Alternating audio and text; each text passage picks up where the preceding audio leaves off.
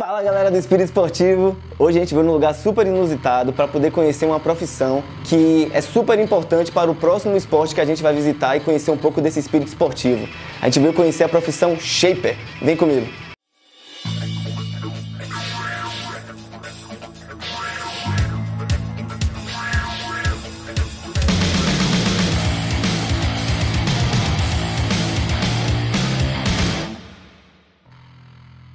Lucas Albuquerque, muito prazer, com licença, entrando aqui na sua área.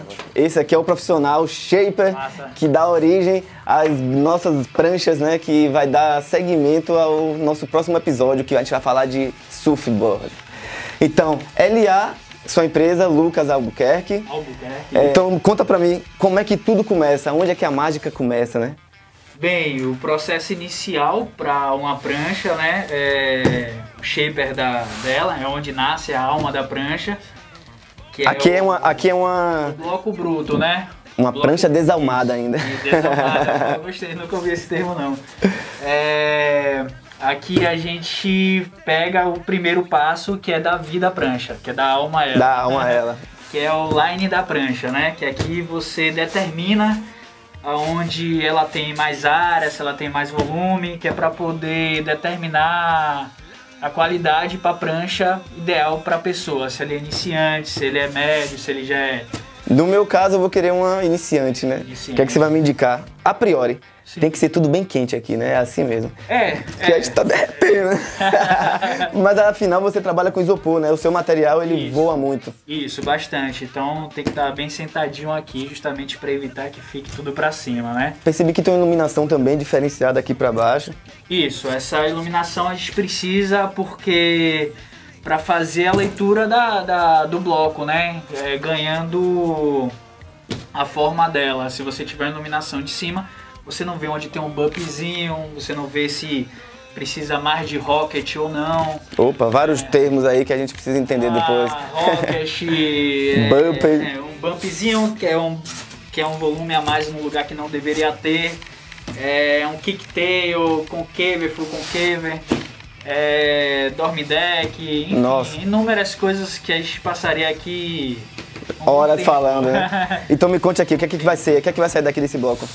Bem, essa daqui é uma pranchinha, né? Uma encomenda já feita, uma pranchinha 5.8, bem básica. 58 é o quê? É 5.8 é o tamanho, em polegadas, Ah, né? sim. É... bem básico. Já- Então essa daqui não vai ser a minha. Não, essa não vai ser a sua. Mas pra, pra iniciante é fácil te explicar isso. É, toda e qualquer prancha ideal para iniciante seria o longboard, independente do tamanho e peso. Se eu pegar uma criancinha de 5 anos ou um adulto de 180 quilos, eu vou jogá-lo em um Longboard. um longboard. Stand-up hoje até serve para isso, popular, desde né? que você tire as quilhas, que são quilhões, que é, te dá toda a estabilidade, e joga na parte da espuminha ali, então você tem uma prancha ideal para quem está iniciando. Mas isso para você pegar os- o básico do básico, né? Que é a noção de deitar, a noção de levantar e de como permanecer em pé. É, Então essas seriam as pranchas ideais. Só que a galera hoje está muito abusada, né? Então estão diminuindo as pranchas, fazendo ela com mais área, com um pouco mais de volume, mas um tamanho menorzinho.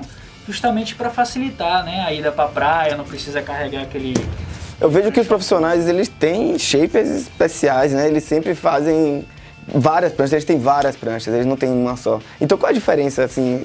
Ele tem que ter uma prancha um pouco mais veloz, uma prancha um pouco mais lenta, como você falou. Você fala isso tecnicamente. Tecnicamente, né? é. O cara que já tem uma noção, Uhum. certo?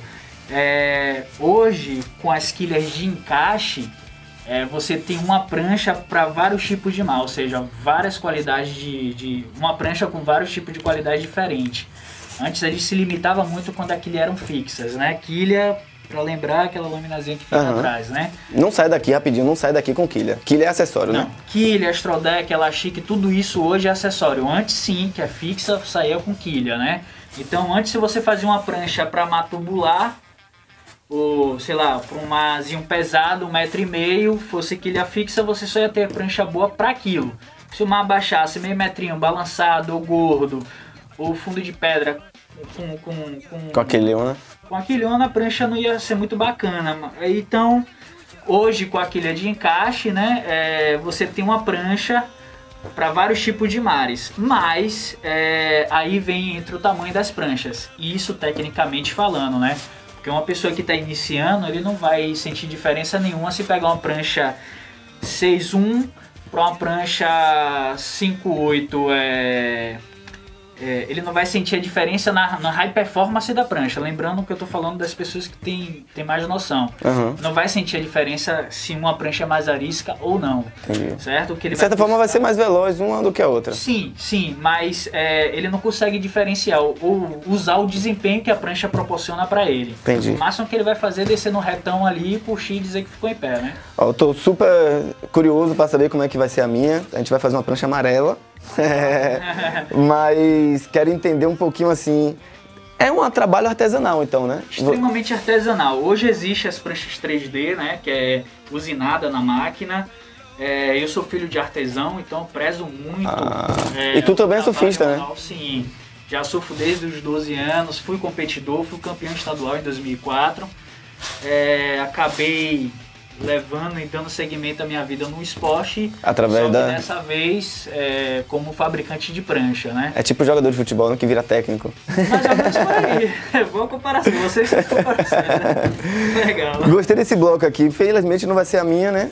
Mas eh, deu pra entender um pouco do line, né? Como você falou, de, das possibilidades que tem as pranchas e, e- Então vou sair daqui com que prancha?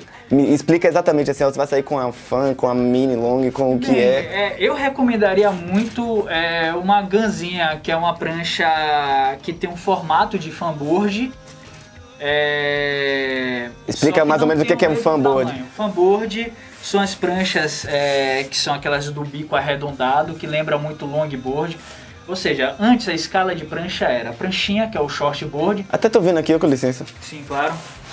Deixa eu tirar aqui, tá? Pode Ah. tirar. É, aqui tem essa escala? Sim, sim, é, mas aqui é bem mais. Rústico, né? É, é bem mais grosso, né? Um, uma forma, uma, um formato grotesco das pranchas, mas que dá pra você ter uma ideia mais ou menos de como é que era, né? Concept. né? Em 1900, né? E por aí vai até chegar às linhas de prancha que hoje, atualmente, tem esses formatos aqui.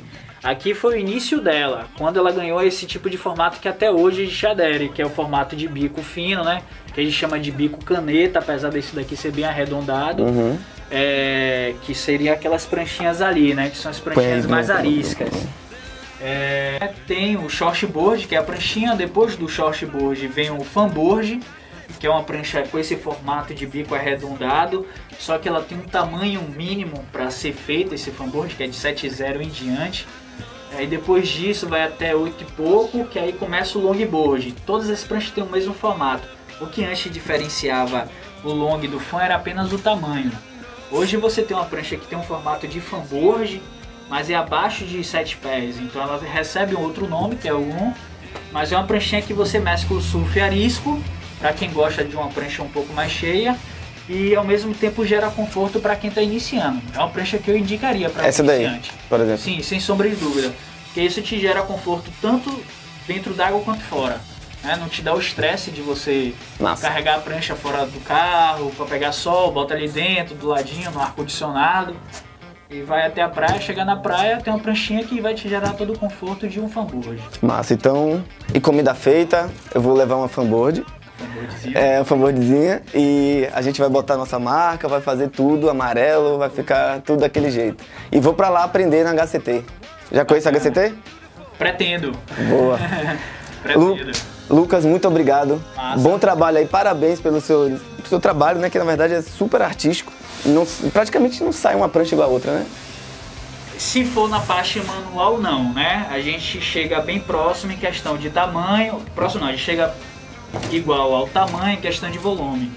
Mas na litragem da prancha, raramente sai a mesma litragem. É, mas como o rocket da prancha, a gente consegue determinar isso, medir de uma prancha para outra. Se você chegar com uma prancha que eu quero igualzinho, eu chego o mais próximo possível. Se você quiser uma fiel, eu levo, faço no- na máquina, que é a de usinagem, né? Que é a 3D.